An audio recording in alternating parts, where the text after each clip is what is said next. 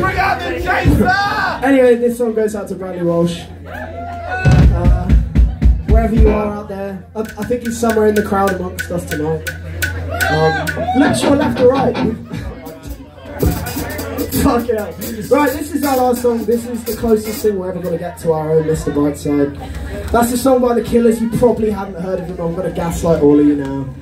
They're such a small band. Go check them out. Uh, they're on the up and coming.